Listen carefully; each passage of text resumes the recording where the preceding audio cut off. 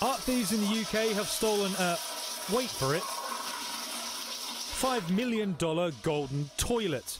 That's right, the precious metal crapper was fully functional when it was put on display at Britain's Blenheim Palace for an art exhibit. Dubbed America by Italian artist Maurizio Cattelan, it was on display at New York's Guggenheim Museum two years ago. Its removal caused extensive flooding. It's said to have been stolen sometime before 5am on Saturday. One man has been arrested in connection with the theft, but the toilet's whereabouts are unknown. Back in New York, over 100,000 visitors were able to use it.